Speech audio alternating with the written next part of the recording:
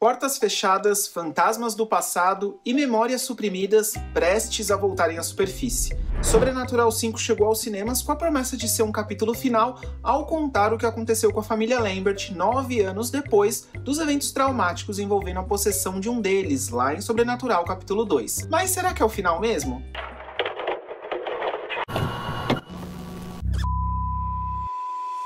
Em A Porta Vermelha, a família Lambert se encontra em um momento difícil, um luto que ameaça abrir a porta do título do filme, que por nove anos manteve todos os fantasmas do passado presos e esquecidos. Além do luto na família, também descobrimos que o casal Josh e Renee não estão mais juntos e que o Josh e o Dalton vivem em uma relação conturbada e distante de pai e filho. Mas ainda que não estejam mais vivendo juntos, a Renee encoraja o Josh a levar seu filho na viagem para a universidade na tentativa de aproximar os dois. You drive Dalton to college. You still have a few weeks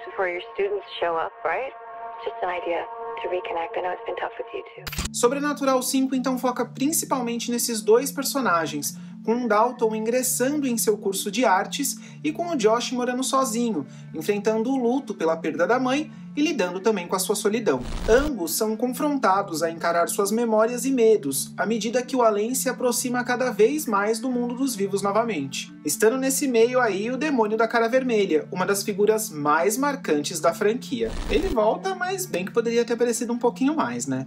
Dito isso, Sobrenatural 5 não entrega nenhuma grande novidade ou reviravolta na história, mas traz de volta os personagens base da franquia para uma conclusão. Atua ali no campo seguro, com diversas referências, mas também trabalha algumas pontas soltas antigas, como a relação do Josh com seu pai e também com seu filho, na ideia aí de círculo se fechando mesmo, até por conta de como o demônio da cara vermelha aterroriza o Dalton, assim como o fantasma da velha fazia com o Josh lá nos primeiros filmes.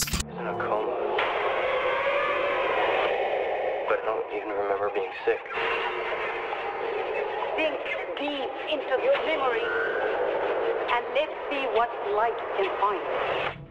A personagem da mãe e dos demais filhos aparece pouco, mas foi bem legal ver eles de volta. Já Elise, depois de ganhar destaque nos capítulos 3 e 4, surge aqui como uma participação especial em dois momentos do filme, sendo um deles um dos meus momentos preferidos desse quinto capítulo. Temos também uma nova personagem que faz parte do núcleo da universidade, a Chris, que é interpretada pela atriz Sinclair Daniel, uma boa adição ao elenco, como uma personagem extremamente divertida e cativante.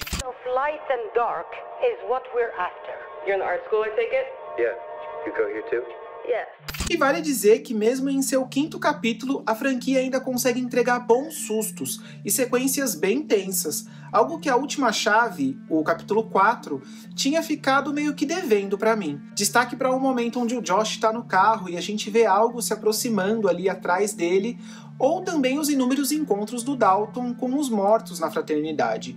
Tem alguns momentos bem intensos.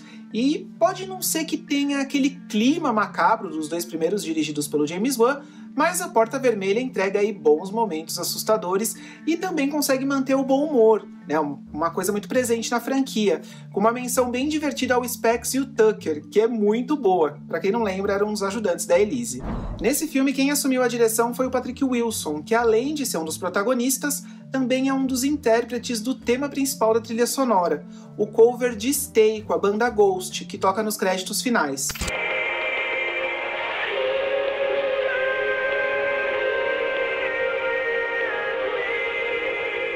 Só sei que tô com a música Stay do Patrick Wilson no repeat no Spotify e o filme segue acumulando aí uma boa grana nas bilheterias. Seu retorno à franquia rendeu aí um bom desfecho à família Lambert, cujos personagens mereciam um final mais otimista do que eles tinham enfrentado lá em Sobrenatural 1 e 2, né? pelo menos eu acho. Eu tava torcendo aí pra eles terem um final mais otimista. E assim, desfecho mesmo pra família Lambert, porque como eu tinha dito no vídeo das estreias do mês, não acho impossível que a franquia Sobrenatural volte aí com outras histórias. Um orçamento orçamento estimado em 16 milhões de dólares, o longa já passou dos 155 milhões de dólares de bilheteria mundial. Um baita sucesso. Com esses números, acho bem difícil que a porta aí não se abra novamente.